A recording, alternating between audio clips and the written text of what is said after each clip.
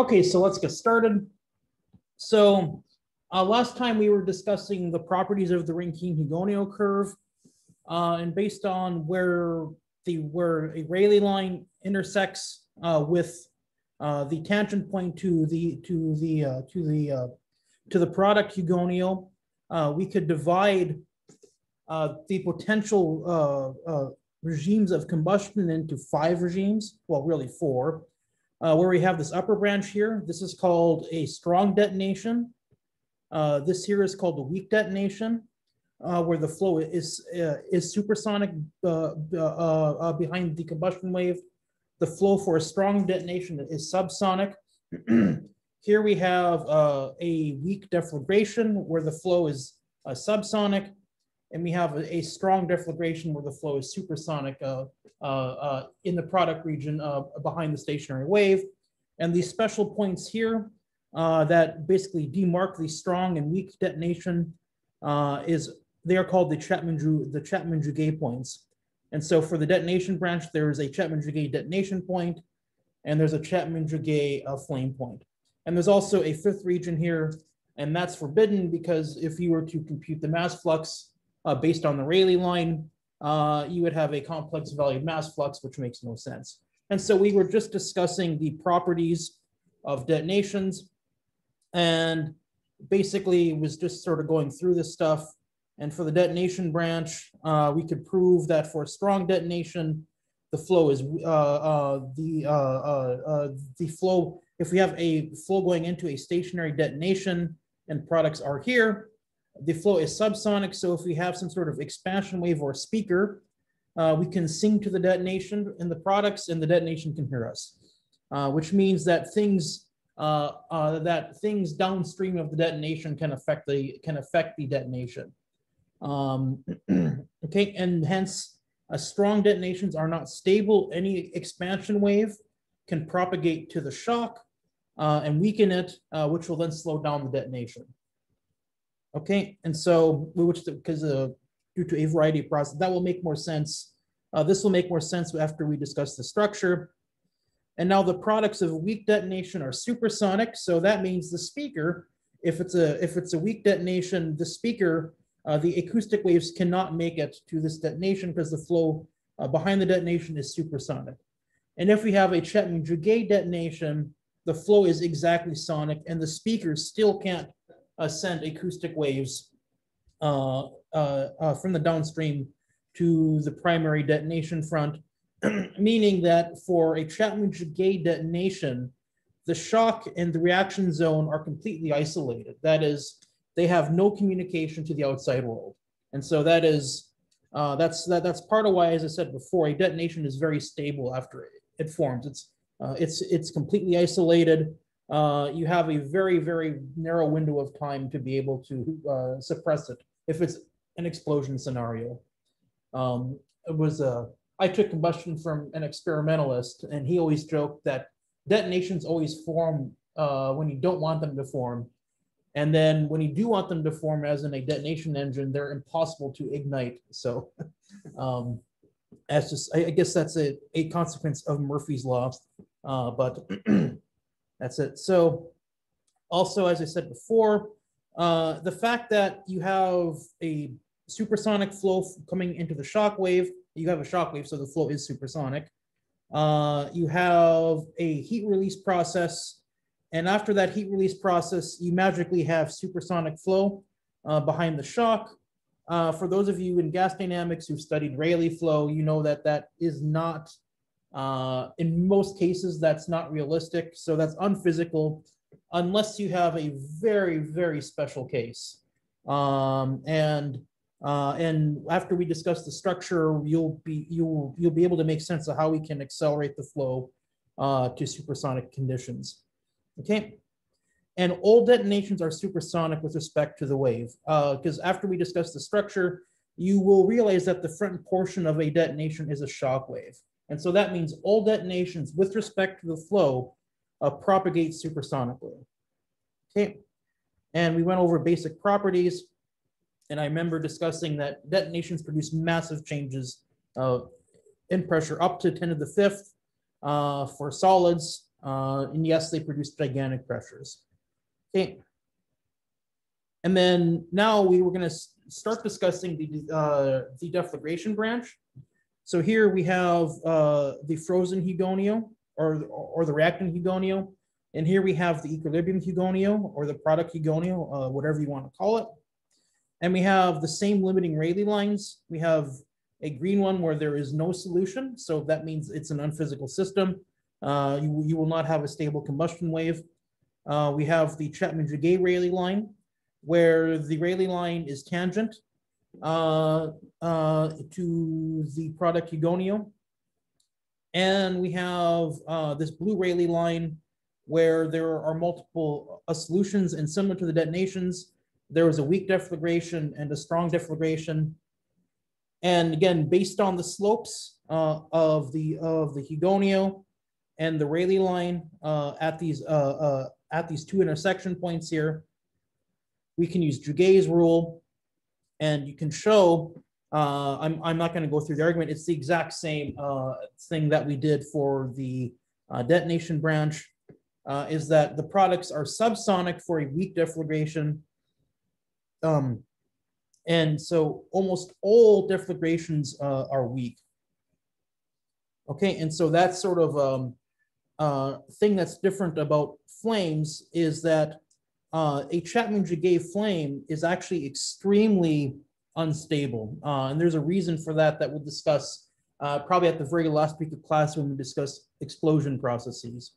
Um, and so most deflagrations actually live right around here. Uh, basically a very, very slight um, uh, um, uh, uh decrease uh, in pressure, and they almost never uh, gravitate towards the CJ deflagration speed. Okay, and so that's just the way they are. And so actually solving for how fast a flame propagates is more difficult than solving for how fast a detonation propagates.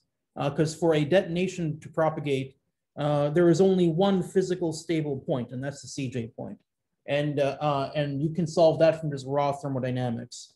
Uh, a flame does not live at the CJ point; it lives above the CJ point, and so that becomes a much more challenging eigenvalue problem. Where to find how fast the flame goes, you need to know the structure, which means you need to know the chemical kinetics and you need to know the molecular transport properties. And so that's part of why we spent so much time going over a molecular transport because that's because that's very important for uh, uh, to determine the properties of flames. Uh, and and and and without heat conduction, you don't have a flame. Period. okay. Um, and again, a strong deflagrations, you can show that products are supersonic.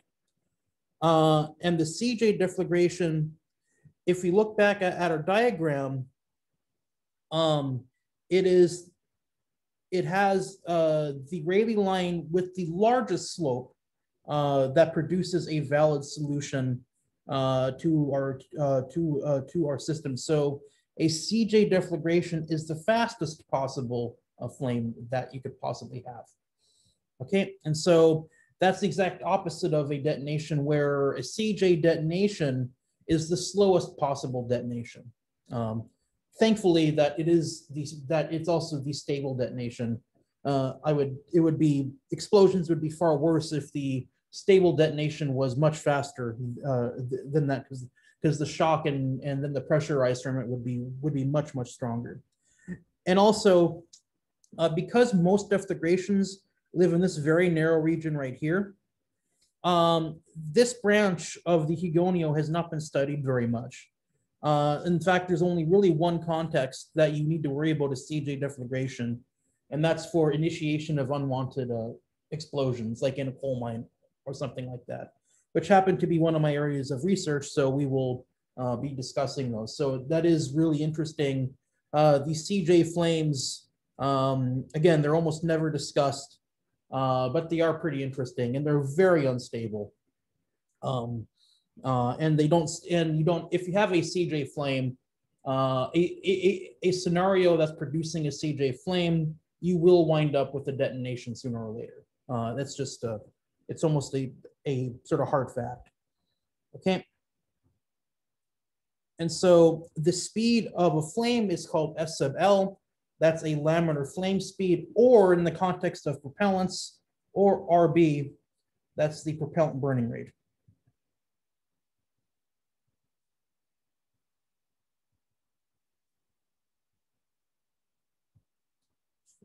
And that's the same burning rate uh, when we discussed the interfacial boundary conditions that I drew that RB going down. Uh, that's actually what that is. That's where I got that from. Uh, is that basically when you do when you deal with propellants, you deal with a receding interface, and that interface is moving down at some regression rate RB. Okay, and so uh, S sub L uh, in our flow diagram is equal to U1. And for propellants, it can be on the order of a centimeter per second on the upper limit, um, usually on the order of a millimeter per second, something like that, uh, for say nitromethane.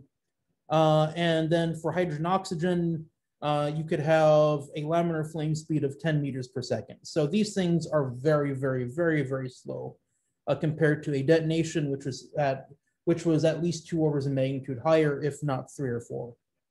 Okay, and so uh, and so that's a characteristic of that. And just based on where a flame lives on the on the Hugoniot, is that basically we are right here.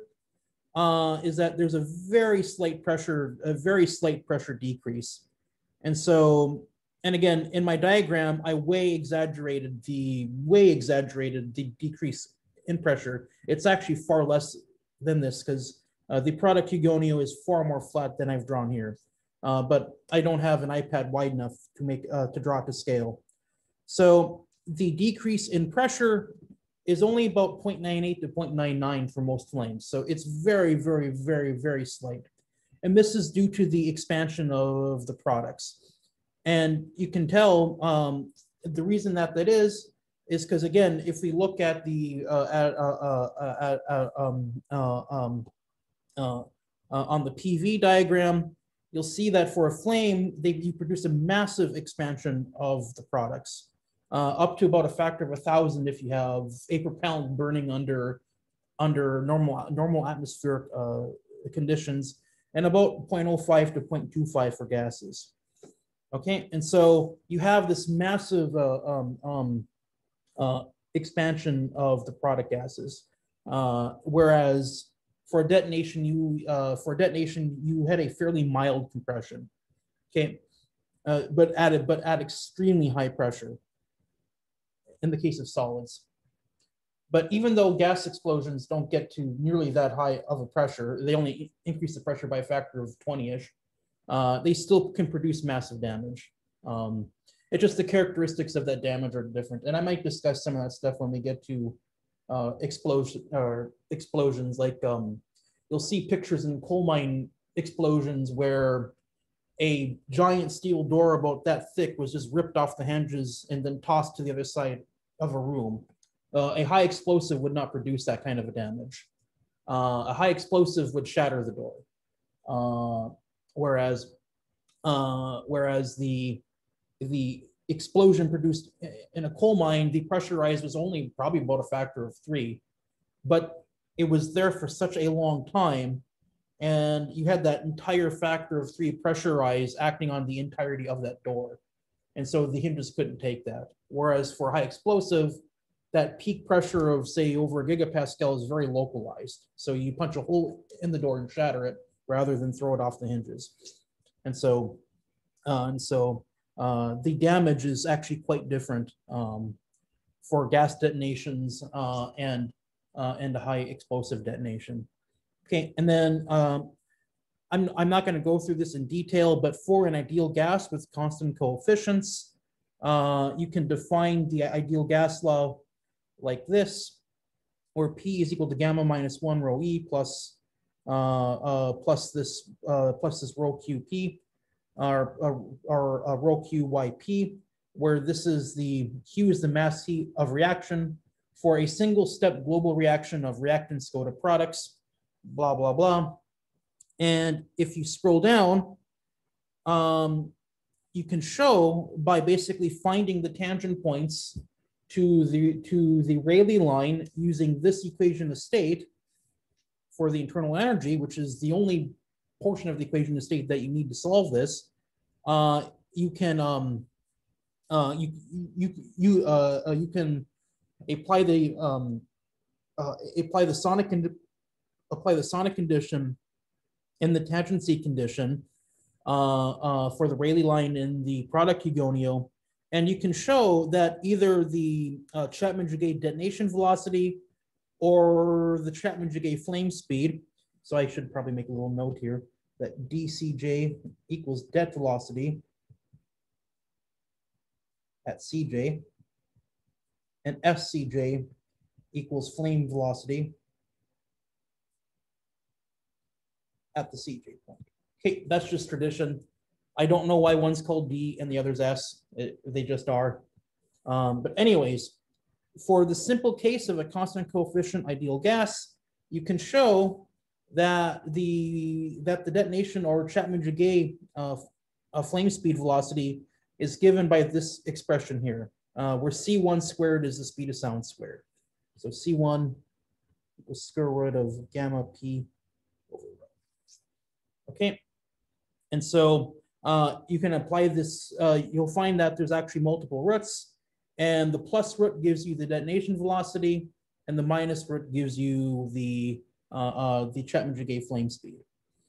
Okay, and then you can also show um, that the that the change of density, pressure, and velocity, uh, and the Mach number uh, for the for for the flow after the combustion wave uh, can be given by these expressions here. And again, I'm not going to derive them.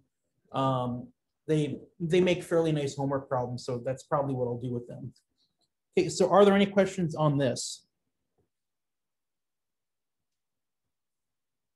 Okay, so I'll draw just a real quick PV diagram.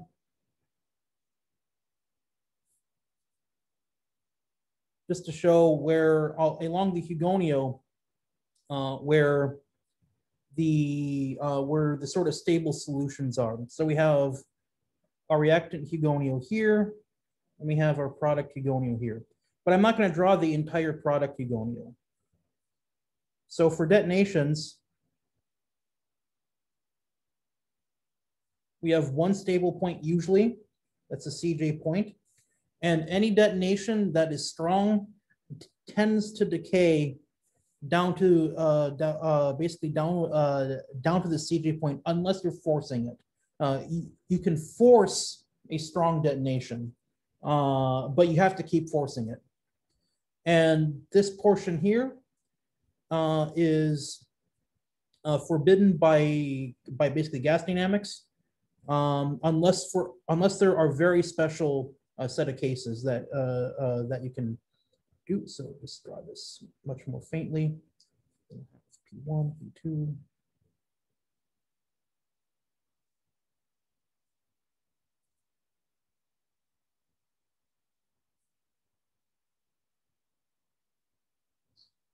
And for the flames, where a flame tends to live is actually right here in this, oops, I gotta shift that up a little bit.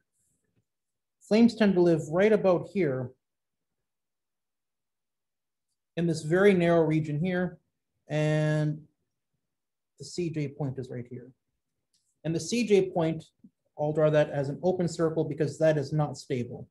And this region here is not, is not physical.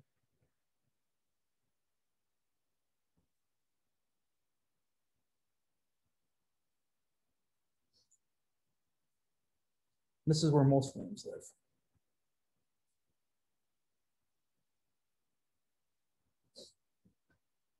Okay, and so it's actually, uh, because most flames live in this region over here, they are not at the CJ point, so you cannot apply the tan, that extra tangency condition. You, or you cannot apply the sonic condition, uh, to find the flame speed.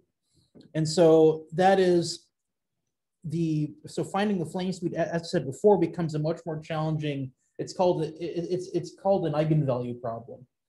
In the sense that you need to, that to compute the flame speed, you need, is that you need to compute the structure of the flame. But to compute the structure of the flame, you need to know how fast the flame is going. And so it becomes this really complicated, it becomes this really complicated uh, iterative process uh, to find how fast a flame goes, because you need to consider the structure. uh, and it takes a very long time to run those uh, uh, uh, calculations. But thankfully, Cantera will do that for you. It will automatically do that. The solver may be finicky, but but Cantera can do that for you, at, at least for ideal gases. Okay, so are there any questions with this stuff? Okay, Pro- Professor, what do you mean when it's not physical? Like it physically cannot exist? yes. Um, if you recall, if you have flow in a duct, and I have subsonic flow, so that is U is less than C, and I have heat release.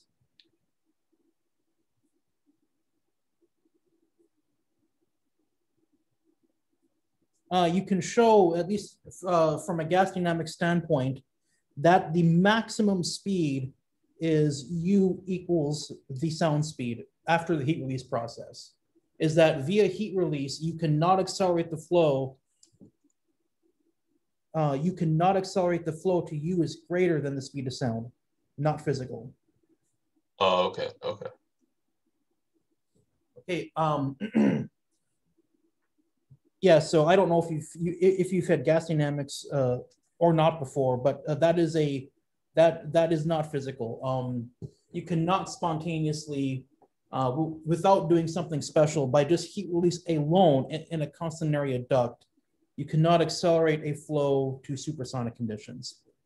Um, now, if you, uh, uh, if you, now you may think, well, if I have a supersonic flow, uh, can I keep accelerating the flow by adding heat release?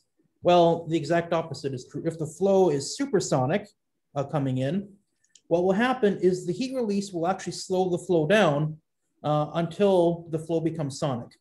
and so uh, even then you can't uh, you can't accelerate the, flow uh, beyond the sonic condition just by heat release uh, alone. And so the sort of sonic point becomes uh, this sort of attractor. And there are and there are also second law reasons why you can't do that. Okay, which is probably the real underlying principle as to why you can't. Okay, does that answer your question? Yes, yes, thank you. Okay, are there any other questions? Okay, and I guess in terms of gas dynamics, uh, for those of you who have had that, uh, our uh, combustion wave is nothing more than flow in a constant area duct with heat release. Uh, so you can actually think of it like that in terms of its bulk properties. Uh, and in fact, uh, when we start discussing detonation structure, uh, the structure behind the lead shock of a detonation is is really nothing more than a Rayleigh flow, where the Rayleigh flow, uh, where the heat release for for for the Rayleigh flow is given by a, a chemical reaction. That's it. And so, if you put it into that context, and if for those of you who've had that uh, type of class material before, uh, uh, that will sort of make sense to you. Okay, so if there are no more questions on this, I'm going to move on to the next set of slides, and that is how do we find the structure of a detonation? So now say we want to find the structure of a detonation because there's a lot of information you can learn by studying the structure, the, uh, uh, the actual structure of a detonation. And unfortunately, the Rankine Hugoniot, that's those aren't my initials, that's Rankine Hugoniot, uh, only told us the bulk properties of the wave, that is how fast it goes, and basically what are the properties before and after the wave. That's all Rankine Hugoniot can tell us. It can tell us nothing more. However, for a detonation, there was a uh, a very successful model uh, proposed by uh, three people almost simultaneously. Uh, Zeldovich, who's a very very famous Russian combustion scientist. Uh, if you work in combustion for uh, a mild period of time, you will come across his name about 17 million times. Uh, von Neumann, an American physicist, um, and Döring, uh, a German uh, a, a German physicist, and they all came up with this model uh, basically roughly independently at the same time because they were all on separate sides of a war. okay, and so it's so basically it's given the ZND model. Okay, and so what they what they basically realized is that if you look at the um, if you look at, if you consider the, uh, uh, if you consider the, uh, the PV diagram, and you consider the fact that the detonation branch lived up here, uh, you can prove that due to the slope of this Rayleigh line, uh, and uh, that you can prove that the um, uh, uh, that the combustion wave with respect to the reactants is supersonic. Okay, so and they produce so basically the Mach number of a detonation wave is uh, is supersonic. That means it's greater than one, and it produces a, a massive increase uh, in pressure. So this heat release is producing a positive pressure disturbance to the flow and a massive uh, positive pressure disturbance to the flow, and it's moving supersonic. And so, what is the only combustion, or basically, what is the only gas dynamic wave that moves supersonically and produces a massive increase in pressure? That's a shock. A, a shock is a shock wave is the only answer to that question. Okay. And so what they and so basically what they realized is that if if you want understand the uh, if you want to understand the structure of a of of a debt of a of a Chapman-Jouguet detonation or any other detonation for that matter, is that is that is that basically whatever happens in the chemical uh, reaction uh, process uh, for all cases, basically no matter what happens after the shock, uh, the lead structure of a detonation wave is always a shock wave, always. Okay, and so now, what ignites, oops, boomer moment. Um, and so what ignites the, uh, so what, and so what, so you may think if I have gases sitting around, how do they reach a temperature to where, uh, to, uh, to a rapid chemical, uh, rapid chemical reaction uh, can start? And that is due to shock compression, uh, is that these shocks are so strong that the shock compression alone compresses and heats the reactants to the point to where they start to react rapidly. So shock compression alone in a detonation is what heats the reactants. Uh, heat conduction and, uh, and mass diffusion play a very, very, very little role. Uh, in multidimensional detonations, there's some debate as to whether they play a role uh, under certain special uh, conditions, but I won't be discussing those in this class. So, uh, and so, and then also, they noted that the only stable detonation is a CJ detonation where the flow is sub or where the flow is sonic. That is, it is at the speed of sound. And so note that behind a shock, we have a shock wave here. So here's the detonation structure. We have our shock wave. Right here, we're starting at, at some pressure P naught or P1, I should say, to be consistent with the nomenclature that I used be, uh, before. Well, the is that the reactants are going to be they are going to be uh, uh, compressed and heated by the shock wave. Then the pressure is going to jump way up, and then what's going to happen is then we're going to start to induce chemical reaction, and we're going to release heat. And what uh, and basically the flow behind all stationary shocks is subsonic.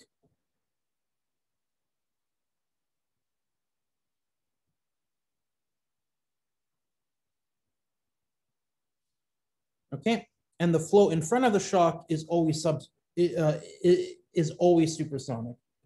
Okay, and so now in the subsonic region behind the shock, uh, we are we are adding heat due to chemical reaction. And so uh, basically the heat addition to subsonic flow accelerates it. Uh, and as you accelerate the flow, uh, you are going to decrease the pressure. And so as this keeps going on, uh, we would expect a structure to look something a bit like what I have drawn here. Is that A, uh, all chemical, since, since at the product Hugoniot, we are exactly uh, at, we are exactly at the equilibrium state. That is at the product Hugoniot, there are no more chemical reactions that they are all gone, no more.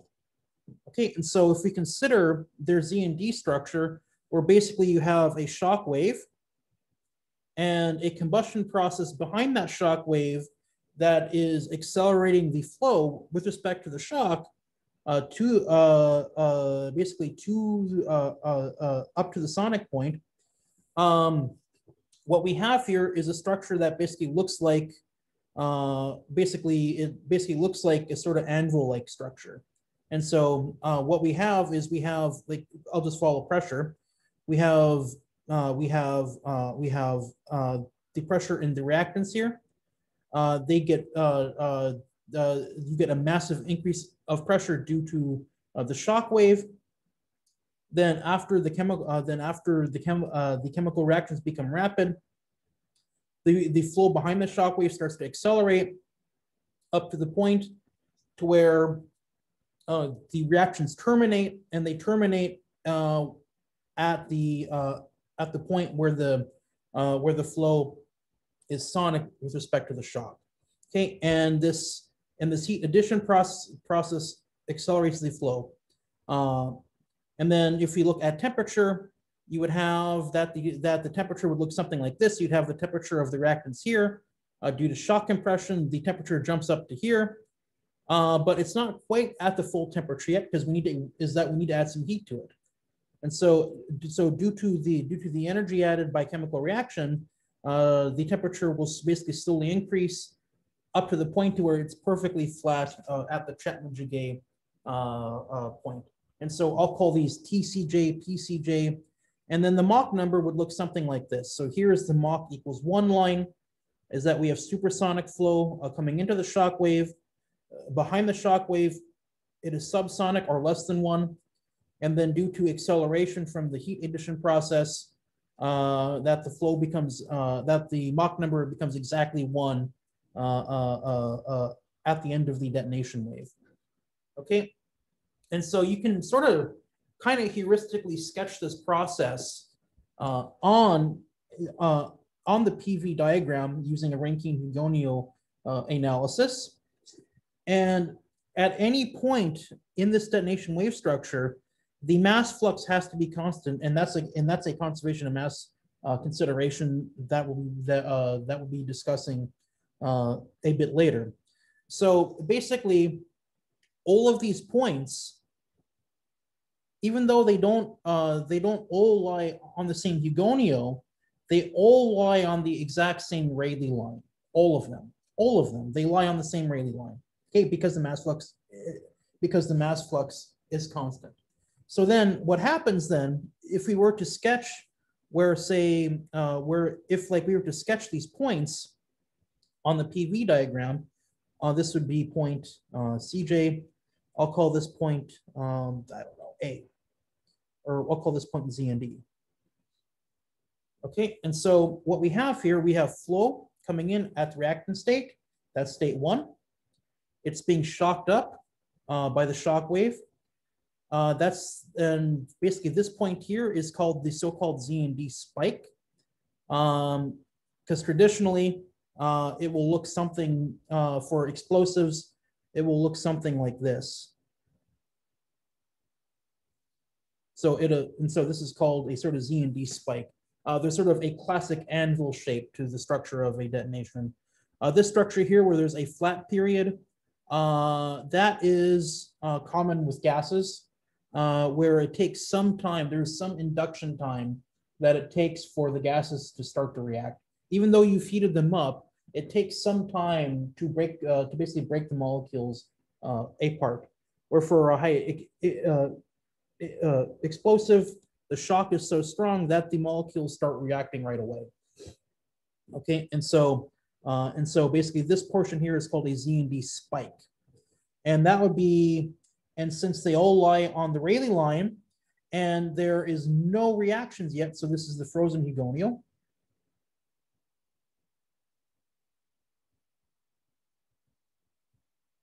This is the equilibrium Hugoniot. And I apologize for using different terms for the same thing multiple times. Uh, but if you read the literature, you'll see all these different terms being used by different groups. So uh, I'm trying to use as many of them as possible just to uh, get you used to that.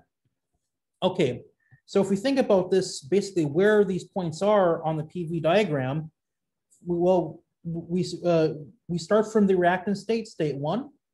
Then we're gonna be hit, then, then the reactants are gonna be whacked by a shock wave. But that, but there's gonna be no reactions immediately behind that shock wave. So basically, the state jumps from state one and it jumps over to uh, uh, basically, basically to, uh, it basically jumps to this, uh, uh, basically to the ZND point uh, on the reactant Hugoniot. Okay, and so you could think of it as it goes up along the Rayleigh line up to this point here. But again, shocks aren't a smooth process, so so it basically jumps from here to here. Okay, then we are now at the ZND point. Now, uh, basically now chemical reactions start to occur.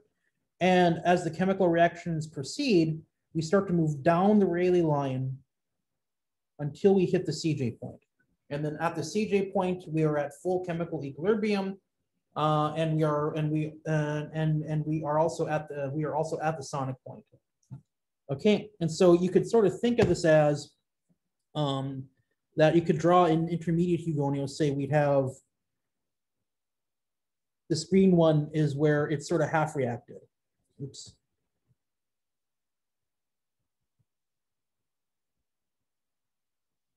Okay, and so basically the, the entirety of the process would occurs along, uh, uh, uh, along, uh, uh, along this one Rayleigh line. But it's gonna, but it's going to basically across many, many, many different Hugoniots.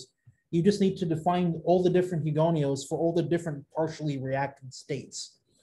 Okay, which is very difficult to do. Uh, and so, and, but, and the only two that are very well defined are the, are the frozen or the reactant Hugoniot and the product or the equilibrium Hugoniot. Okay, so are there any questions with that? And so, okay, so that, uh, discuss that. And so now the question is, is how do we compute the structure uh, between the shock and between the sonic plane? Okay, and so that's what we'll be discussing um, soon. And so now the sonic condition is actually really important, is that it as is that basically isolates the reaction zone. This here would be the reaction zone. Off. Okay, is it isolates the uh, um, the reaction zone uh, from the outside world. So if we consider a detonation propagating in a channel over here, and we have a wall, uh, we have a wall blocked off here. This detonation that, that is propagating this way has no idea that there is a wall there. And this detonation would propagate at the same velocity is that basically this structure here would be unchanged if I were to suddenly open up this wall. Because it would have no idea, it has no possible way of knowing uh, basically that I did anything behind the uh, behind the, the the detonation. Now this region here, uh, between the wall and the CJ point, that is an expansion wave in the gas dynamic sense, and it follows the detonation, and it's very commonly called a Taylor wave. Okay, now the structure of the Taylor wave is very dependent on the boundary condition here, whether this wall is closed or open, etc.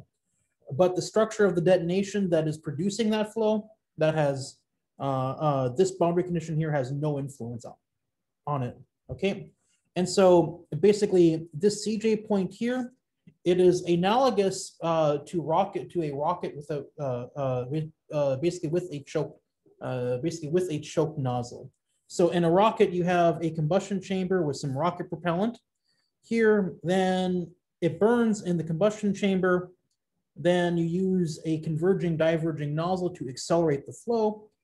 And at the throat, you have a sonic plane. And so the reason that a rocket burns so stably, at least from external influences, uh, you can have internal things going on inside, which can cause bad days for the rockets, uh, which are very difficult to deal with, by the way. Uh, but anyways, from external sources, um, and uh, a rocket is very robust to external influences. So for instance, if I was to send an acoustic wave into the rocket, uh, because the flow here uh, at the sonic plane is going at the speed of sound, there is no way for, uh, uh, for this acoustic information uh, to basically make its way uh, inside of the combustion chamber and then basically alter the combustion process in the rocket. Okay, um, you could argue that, well, there'll be some boundary layer defects and things like that. And so there are some physical ways to where at least a modicum of acoustic information can sneak its way into the combustion chamber, but those are very, very small and you don't need to worry about those in, in most applications. So what happens at the sonic plane of a CJ uh, detonation is very analogous to that. And so you could think of the combustion chamber is basically walled off uh, by a shock wave rather than a physical wall. Uh, and, and instead of having a converging diverging nozzle, it accelerates the flow. Uh, the chemical heat release process itself is accelerating the flow. Okay, and so it, in a way, they're kind of analogous. Oh, okay, so uh, are there any questions on this? Professor, I just have a, a quick question. Is the is the ZND point still a sonic point or is it supersonic? No, that's uh, that's actually subsonic. It's subsonic. Yep, because it Because it's part of the strong or it's it's a okay. uh, uh, because it's behind the shock wave. Okay, got it. So it, it, it's just behind the shock wave.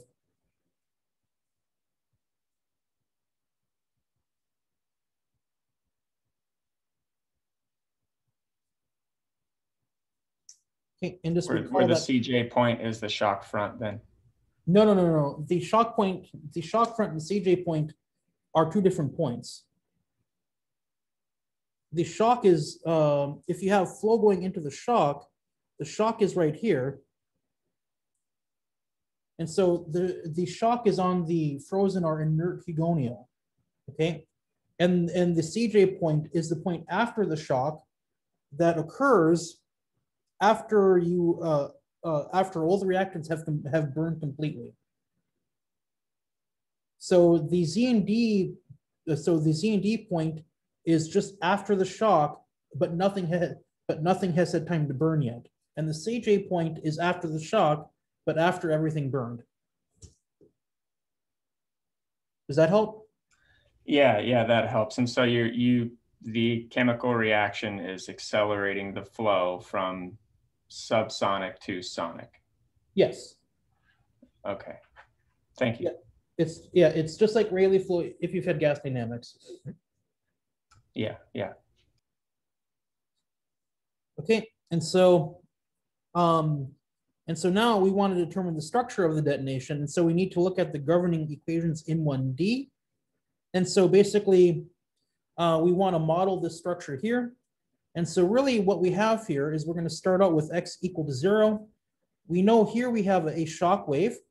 Uh, we can find out how fast the shock wave is going. So the flow is going at dCj into the shock wave. and so we you can apply um, uh, you can apply Rankine-Hugoniot to determine uh, this point here at the ZND spike. So initial condition is frozen in the post-shock state. Um, and I'll explain why. And so in, in the ZND point, determined by the normal shock relations.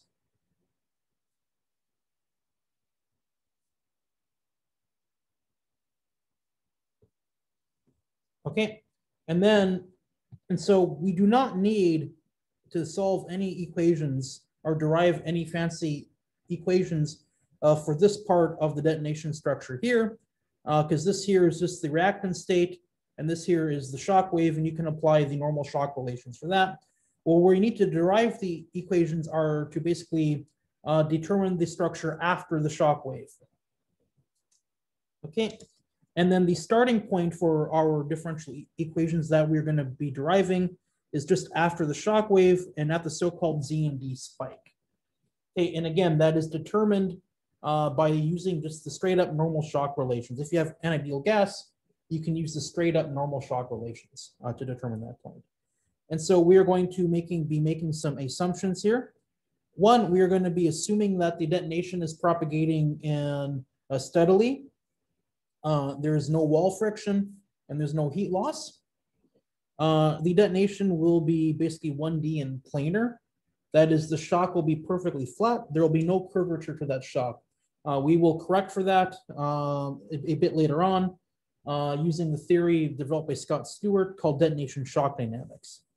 Uh, because the curvature of a shock can have a massive influence on how fast it propagates. Uh, and we'll be assuming that the detonation is, is basically propagating into a, a constant area duct. Okay. And also, we are assuming that there are no reactions in the shock wave itself. And so basically what this means is that the species composition at the ZND point is equal to the species composition of the reactants. Okay, and so uh, and so basically uh, and so basically the chemical composition is the same here as it is over here. And the reason that we can do this is that a, if you look at the uh, shock relations or the Riemann invariants in gas dynamics, a mass fraction in a multi-species system is a Riemann invariant. So basically what this means is that a shock wave itself does not change the chemical composition. Is that a shock wave itself will leave the chemical composition alone. Okay, and so that means this is not really an assumption, but it is that, that the fact that the chemical composition at this point and the chemical the chemical composition at this point are the same is an exact relationship. Uh, any process that changes the chemical composition, even if it occurs in a nanometer, is due to chemical is is due to chemical reactions. The shock wave itself is not changing uh, uh, uh, uh, the chemical composition. Chemical reactions are changing the chemical composition. Okay. And also we will assume that there is no conduction, mass diffusion, viscosity. And also we will assume that there is smooth flow uh, behind the shock wave because there's really nothing else going on inside. So the flow has to be smooth. Um, okay, so are there any questions on the assumptions? Okay, so this is all uh, fairly uh, straightforward. So we can work with conservation of mass. So again, I got them written out full in full 1D. So we got partial rho, partial t, plus partial rho u, partial x is equal to zero. Again, we are 1D planar. Um, and we are in, in steady, so all time derivative terms get crossed out. And so this implies that basically uh, that the mass flux is constant uh, in the duct, or you can expand this out and say rho du dx plus u d rho dx is equal to zero. And we'll actually be using this form later on. Okay, so we did conservation of mass. Uh, are there any questions with that? It should be the most straightforward uh, one. You guys sort of encountered working with that one many times in fluid mechanics and other classes. So there's species mass. Again, in one dimension, we have partial rho yi, which is the mass fraction with respect to time, plus uh, partial rho yi times the bulk velocity plus the diffusion velocity, uh, partial x, is equal to the rate of chemical reactions. We get, and here we get to cross out uh, the diffusion velocity because we're assuming there's no diffusion fluxes. Uh, and it's steady, so we get to cross out this term here. So what we wind up with is d rho u y i is equal to the rate of uh, the mass rate of production. The mass rate of production due to chemical reactions. And so on this term here, we can assume it's smooth. And if it's smooth, we can safely use the product rule here. So I'm going to use the product rule and I'm going to bust this term up into yi partial rho u or, or d or u dx plus rho u dyi dx. And this here is nothing more than conservation of mass. And I can cross that term out. And so what we are left with is dyi dx is equal to the mass rate of production divided by the mass flux. Again, rho u is the mass flux equals m dot double prime. Uh, or I can define a cap omega dot, uh, uh, which is just the mass rate of production divided by the density. And so basically this just equals cap omega dot over u. Okay, and so, um, and you may be noting here that in this step here, I magically changed the partials into d's. Uh, and that's because with the, uh, spatially, this is, this is, this is only a function of x. And I'm crossing out the time derivative here. And so now, uh, all, so our flow variables are now a function of only one variable. So I can change the partials into these. Okay, and I'm just gonna end with one note here. Um, is that you need to be careful with the references on here. Uh, uh, with basically omega and cap omega, is that some references will call omega what I call cap omega. And so you need to be very, very, very careful. And to tell which one is which, uh, look at the species mass uh, equation right here. Uh, and basically, and basically, if there is, if if they have omega dot and a rho u here, then omega dot is the mass rate of uh, omega dot is the mass rate of production. But if it's missing this rho here, then then omega dot is is what I refer to as cap omega dot. So just be very careful with that. Is that there is not um, detonation comes from is used by by multiple different communities, and they have multiple different nomenclatures for the same thing. And so you you just need to get used to that. Is that the high explosives uh, world is kind of in their own is kind of in, in their own little multiverse uh, uh, with that uh, with their nomenclature, and you, and you just got to get used to the fact that there are multiple communities that use the same information, and and the and they'll call the same thing uh, uh, with different variables. Okay, and so but just be careful with that. If you want to tell uh, whether omega dot is a mass rate of production uh, or, uh, or, or, or, or whether it is this term right here, is you need to look for this uh, right there, and then, and then that will tell you which one is which. So are there any questions? Okay,